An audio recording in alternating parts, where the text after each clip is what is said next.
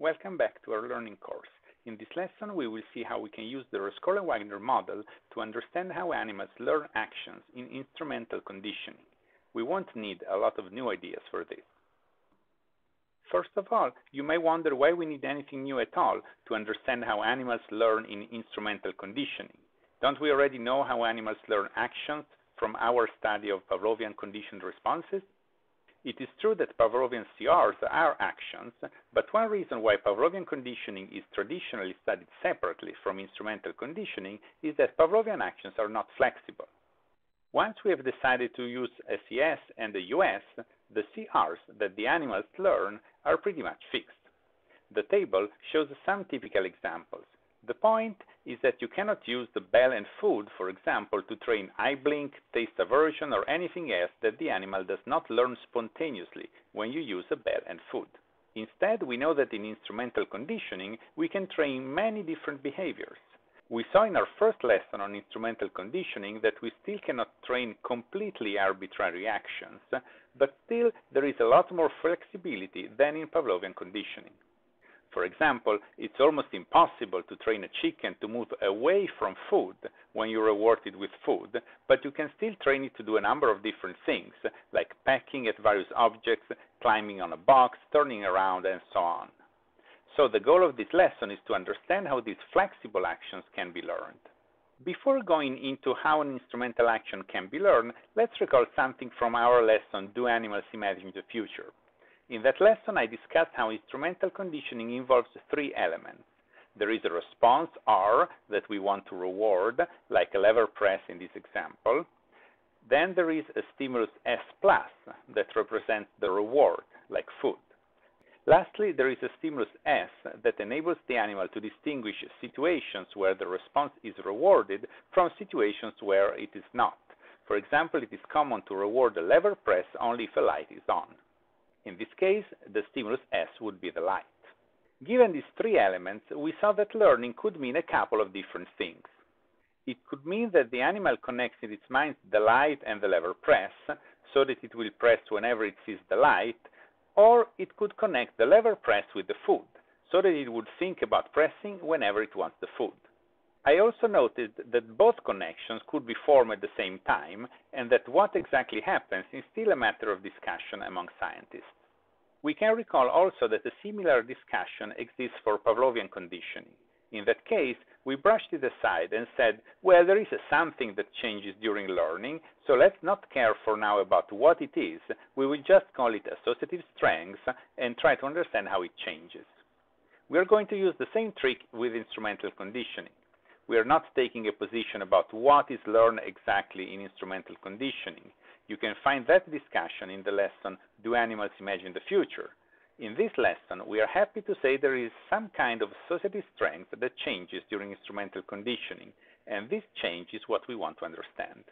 This is helpful because we already have a nice model of how associative strength may change, and this is the Rescorla-Wagner model. It turns out that we can still use it for instrumental conditioning. As I mentioned on the previous slide, we can still think of an associative strength that changes, and we can also continue to use the error as the guiding principle for learning. For example, imagine the usual rat in the usual Skinner box, where it can press a lever to get food. At the beginning of training, the rat does not know that pressing the lever produces food. Suppose that at some point it presses the lever by accident and gets food. At this point, we can say that the rat has made an error, not in the sense that something bad happened, but in the sense that pressing the lever had a meaningful consequence, the food, that the rat did not expect. The rat thought that pressing the lever had no value, but it turns out that that was wrong. In fact, we can interpret the associative strength, V, as the value that the rat gives to pressing the lever. This gives us a good intuition of what the error is about in instrumental conditioning. In practice, this would mean that the rat increases the associative strength if something better than expected occurs, and it decreases it if something worse than expected occurs. This is essentially all there is to using the Rescorla-Wagner model for instrumental conditioning, but there is still one small missing piece. How does the rat choose what to do? We did not have to bother with this in Pavlovian conditioning because, as we said earlier, the conditioned response is not really chosen, it is always the same. So we are back to asking how animals can make decisions. The idea is still to use the associative strength. This is easy to understand if we interpret the associative strength as the value that the animal gives to the action. It is natural to think that the animal will choose more often the actions with a higher value. For simplicity, assume that there are only two possible actions that I will call push and pull. So the animal has to choose between pushing and pulling something. A simple rule that works well is to say that the animal chooses each action in proportion to its value. The mathematical formula for two actions is this one on screen. The probability that the action chosen is push is the associative strength of push, V push, over the sum of the associative strength of push and the associative strength of pull. Let's see why this makes sense with a few examples. When you have a new formula like this one, it's a good idea to check that it makes sense. For example, if the two V's are the same, exactly the same, there should be no preference for pushing or pulling. In fact, we can check that if you use the same number here for V push and V pull, you get one half. That is a probability of 50% of doing either action. So this worked well. What about when an action has a zero value and the other has a positive value? We expect the positive value action to be chosen. In this case, we get in fact that if V push is zero, then the probability of pushing is zero. But if V pull is zero, then you have two numbers that are equal here, so the probability is 1 or 100%.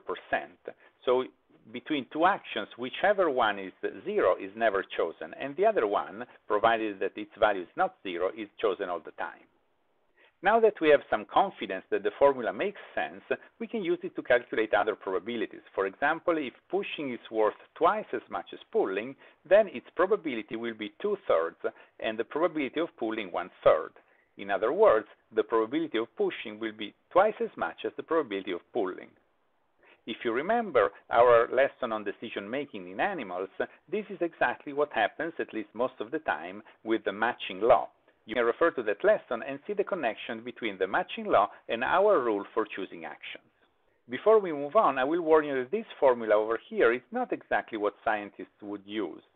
It is good enough for our purposes, but it has some problems. For example, you can get weird results if some of the values are negative. But we won't bother with this in our course, just know that there are ways to fix these problems. And here is what learning looks like when you put everything together. This is a learning curve for an instrumental associative strength, learned in the way we just described by using the Rescorla-Wagner learning rule plus our new rule for choosing which action to perform. It looks similar to the learning curves that we have seen for the Rescorla-Wagner model. Because it's still based on the error principle, the curve grows more quickly at the beginning when the error is large and more slowly as the error gets smaller. The main difference is that the Rescorla-Wagner learning rule goes up smoothly, but this one goes up in steps. The reason is that RW assumes that V changes whenever the CS and US are experienced, while the instrumental associative strengths change only when the action is performed. For example, if we look over here at the beginning, the response is very rare because its associative strength is small. As long as the response is not performed, nothing happens, as you see here for the first about 20 time units but at some point around the time 20, our simulated rat decides to press the lever and it is rewarded for doing so. At this point, we can see that the associative strength jumps from 0 to 0.1. This is exactly what you expect from the Rescorla-Wagner learning rule, because in this example, I am using a lambda value of 1 and a combined alpha and beta terms of 0.1. So the error is 1 and the learning rate is 0.1, and multiplied together they give a jump of 0.1 here. After this first jump, the probability of choosing the action is still low, it's about 10%, because the associative strength is still 0.1. So some time passes before the animal actually tries the response again, and during this time again nothing happens. But when the action is tried again, there is another jump. After the first few responses, the associative strength has grown enough that the response is tried out regularly, and from there on, learning proceeds pretty smoothly, more or less like in the Rescorla-Wagner model. In conclusion, we have seen that we can use the Rescorla-Wagner learning rule also in instrumental conditioning.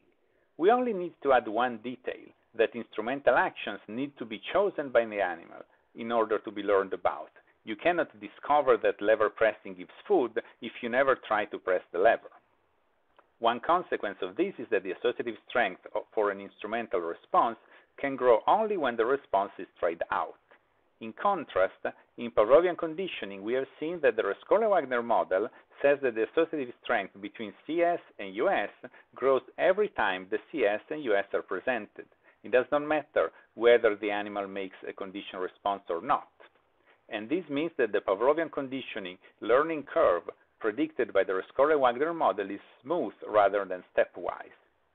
But we have also seen that this picture might actually be too simple even for Pavlovian conditioning. There might be stepwise changes in Pavlovian conditioning too, and this is covered in the lesson What Triggers Pavlovian Conditioning. Other lessons to study next are those about conditional reinforcement and about learning values, which will be similar to learning associative strength.